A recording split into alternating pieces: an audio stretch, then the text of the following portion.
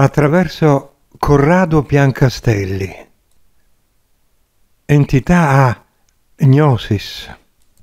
Come esseri stanchi, voi in genere vi abbandonate alle leggi umane e naturali della Terra, senza un esercizio critico.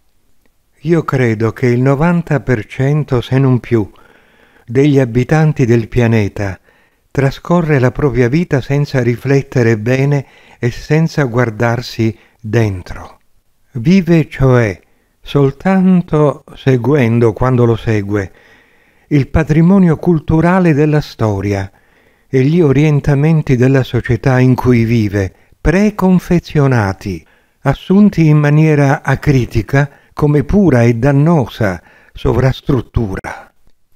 Tutto questo rende più difficile la stessa esperienza spirituale, perché, ormai lo dovreste sapere, un'esperienza è veramente tale se è vissuta con intelligenza e profondità, perché essa si incida dentro, deve passare attraverso il lavoro personale.